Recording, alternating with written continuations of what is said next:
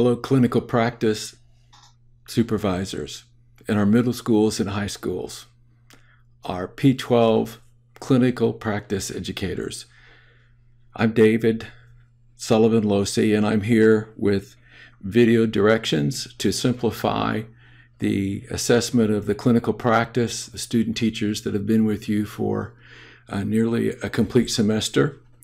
Uh, I want to start with the honoring all the people that are on this title slide uh, Dr. Griggs in social studies, Dr. Hollenbeck in science, Dr. Zolman in mathematics, and Dr. Bailey in English language arts and coordinator of secondary education unit for their hard work.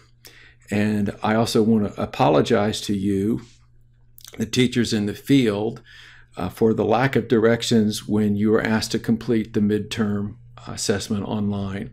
I intended to get the video and directions to you, and at the last minute, and when on the day that they needed to go out, I was called to the hospital for one of my sons in an emergency situation.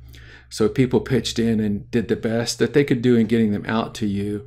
Uh, but the directions were a little sparse. So we aim and I aim to rectify that today. So let's get right to it and see if we can make this a little simpler for you. We're concerned about accreditation, as all of the public K 12 schools are in Indiana and the other states. Your concerns are with the Indiana Department of Education meeting their accreditation procedures. And for us at IU Southeast in higher education, it's the accreditation procedures of CAEP, the Council for Accreditation of Educational Programs or Professionals. And CAEP and much of the literature and, and the journal magazines at this point recognize, and we do too, the critical importance of you, the clinical practice educators who are in the field helping our student teachers, that they're gaining more in this semester than perhaps any semester in their life. Because we've moved from only observing or being left on their own to co teaching and that co-teaching model is showing great uh, results and great promise for the future. So uh, that's why we're here, and that's what we hope to continue to do to help make the highest quality, the best new teachers that we can get here in Southern Indiana and all across the country.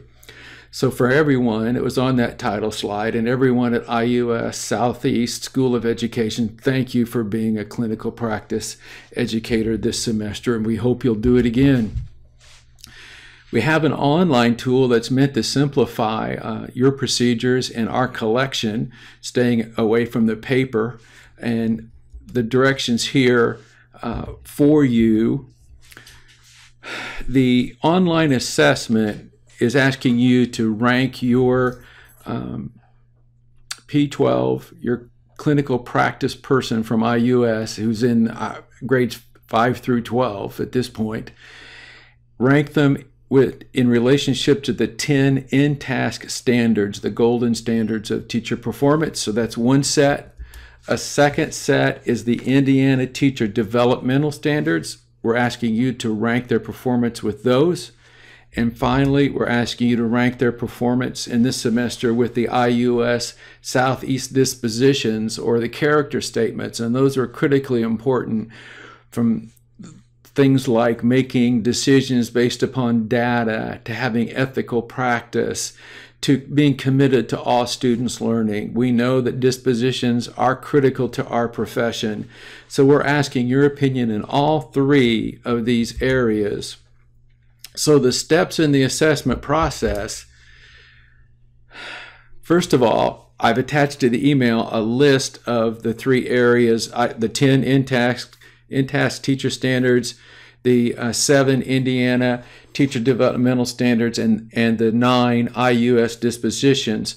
So if you want to print those out or have them with you while you're doing the online survey, you can do that but those will come up on their own page on the on online survey for you. So either way that you want to go with that.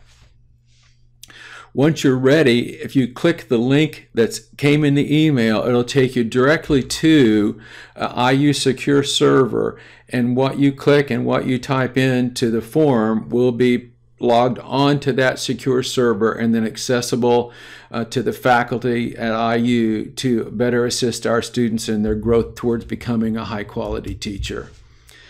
You can do this survey on a desktop computer, on a laptop computer, on a tablet, an iPad, a Samsung tablet, an iPhone, an Android phone, almost anything electronic. We wanted to make it e easy and accessible to you, so any of those devices will work.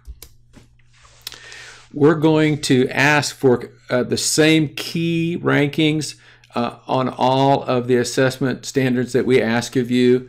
There's actually 26 there's 10 INTASC standards, there's seven Indiana standards, and there's nine um, Indiana or IUS dispositions. So hopefully that comes up to 26 last time I counted. And uh, we're going to use the same four rankings that you see right here on the slide. The lowest level of performance by our, our people will be unacceptable. And that means that their performance in your classroom and working with your students was consistently failing and meeting the, your expectations and the expectations of the profession. We hope no one is there, but if they are and they deserve that, put it down. The next rank up is acceptable, and that means that the students are meeting the expectations, but still have some inconsistency. Uh, for a new teacher, someone who's just starting in the profession, we expect people to be there. We expect several acceptable rankings for uh, the number of students that we have out. That's fine. They're beginning. The next level up is proficient, which is a higher level, and those for ranking there, they're meeting all the expectations of each of the of each standard or each disposition with consistency and skill. Much like being ready to go out and have their first year of teaching in their own classroom, of course, getting professional development and assistance from experienced teachers, but you know, ready. They're ready to begin. And then the highest level throughout all of these, and it'll be the same, will be advanced. And that means that our students have ex uh, demonstrated excellence in the standards and the different dispositions, and that you're ranking with them with that excellent, which indicates their future in education is very bright. So we'll be using the same four possibilities on each of the 26 questions. So here I have a sample page from the online form.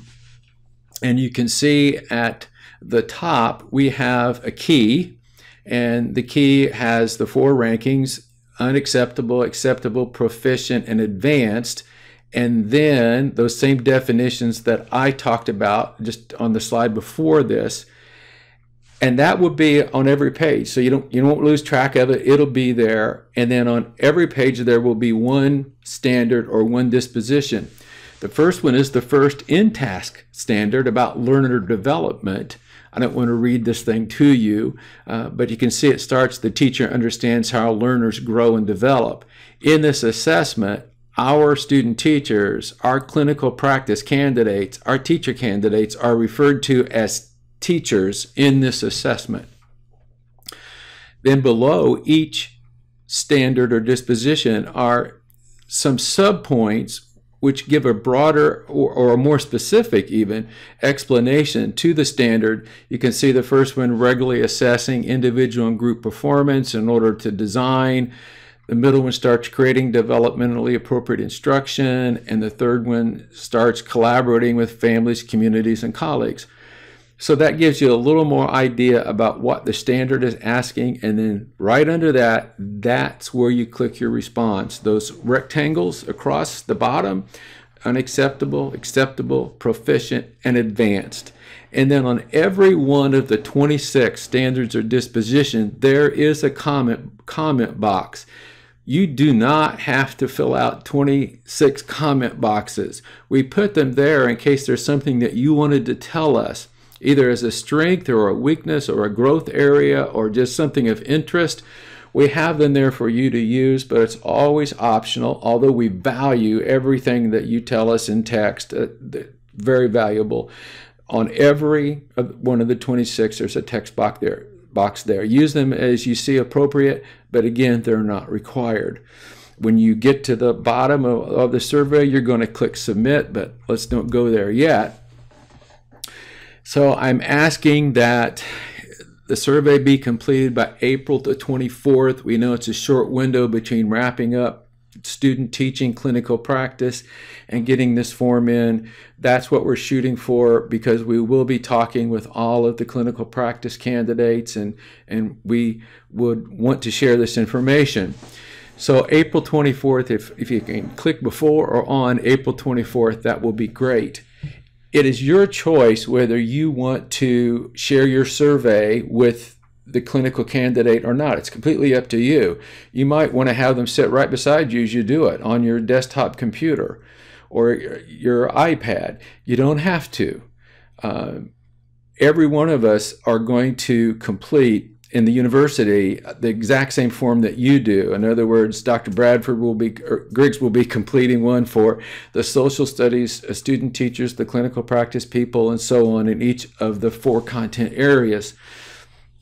So they're going to end up with two assessments, one from the school clinical P12 clinical educator and one from the academic clinical educator. When, the, when we have the exit interview, we'll share both results with them. Uh, if you list something that is a strength or a weakness or a growth area, we'll share that with them. We'll share what we have to say. And again, we're looking to have them grow to get stronger in our profession bottom line of this assessment and why it's critically important and why hopefully by April 24th, this is decision point four, the last decision point before recommending them for licensure. They've been through one, decision point one, two, and three, and now they're at the end of, of their journey with the university. And we need to know if they should be um, asked to move forward towards licensure and take the cost of the exams they need to take, or should they get more uh, development or more classes here? So we're going to share all that with them in a spirit of collaboration and growth towards our profession. You, what you what you submit and what you give us is very valuable. So that really is. Um, the close. And I want to thank you again uh, for the work that you do with our students because you help, and exactly right here, molding high quality new teachers is very much appreciated. We do have the teacher shortage in Indiana, and, and we want to get good people out there to help the P12 students grow. If you need help or if you want to talk with me in any way that I can help you, I'm in charge of the clinical experience overall. Uh, you can do that. There's my e two email addresses. The Gmail address rings on my phone, so it's always in my pocket. I check my IUS, IUS email once a day, so if you want to get to me quicker, use the Gmail or the IUS, either one. There's my cell phone number. You're more than welcome to text me or call me. I'll be glad to get back to you. So just let me know.